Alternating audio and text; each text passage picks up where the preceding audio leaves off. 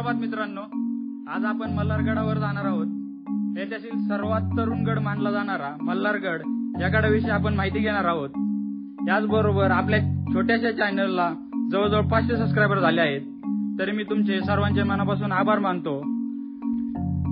तुम्ही आपल्या चॅनलला एवढं भरभरून प्रेम दिलं नक्कीच आपल्या चॅनलवरती नवनवीन ऐतिहासिक व्हिडिओ पाहण्यासाठी चॅनलला सबस्क्राईब करा लाईक करा शेअर करा आणि नक्की कमेंट बॉक्समध्ये कळवा की तुम्हाला आपले व्हिडिओ कसे वाटले. थँक्यू नमस्कार मित्रांनो. तर आपण आज इतिहासातील सर्वात तरुण गडावर म्हणजेच मल्हार गडावर जात आहोत. पुण्यावरून सासवडला निघाल्यावर दिवे घाट संपल्यावर काही वेळांनी झेंडेवाडी गावाचा फाटा लागतो. येथून दोन किलोमीटर अंतरावरच झेंडेवाडी गाव आहे. महाराष्ट्राच्या सर्व किल्ल्यांमध्ये सर्वात शेवटी बांधला गेलेला म्हणून मल्हारगड प्रसिद्ध आहे. पायथ्याला असणाऱ्या सोनेरी गावामुळे या गडाला सोनेरी म्हणूनही ओळखले जाते.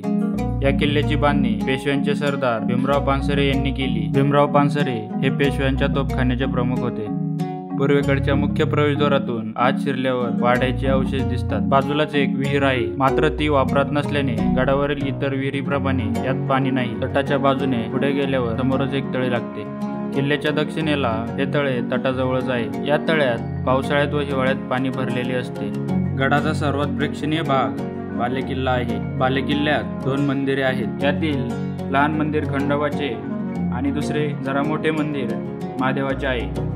कमेंट बॉक्समध्ये नक्की कळवा. तुम्हाला व्हिडिओ कसा वाटला? व्हिडिओ आवडल्यास नक्की शेअर करा लाईक करा आणि आपल्या चॅनलला सबस्क्राईब करायला विसरू नका. पुन्हा भेटू अशाच एका नवीन व्हिडिओमध्ये.